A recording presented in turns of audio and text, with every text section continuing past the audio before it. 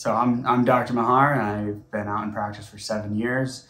I did a residency in ocular disease and also a two-year fellowship in glaucoma uh, two years ago.